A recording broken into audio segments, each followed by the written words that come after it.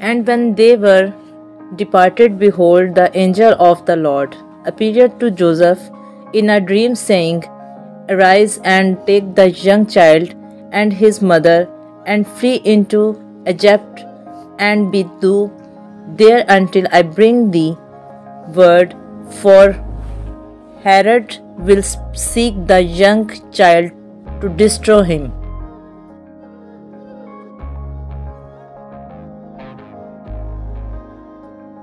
And when eight days were accomplished for the circumcising of the child, his name was called Jesus, which was no named of the angel before he was conceived in the womb.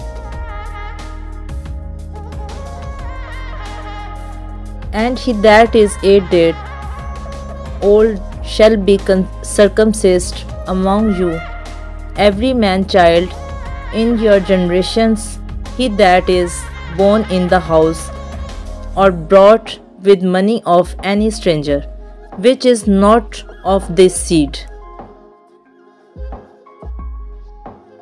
And in the eight days the flesh of his foreskin shall be circumcised.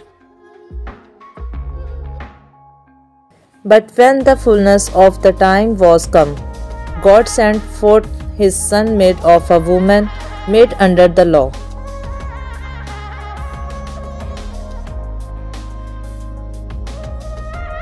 To redeem them that were under the law, that we might receive the adoption of the Son.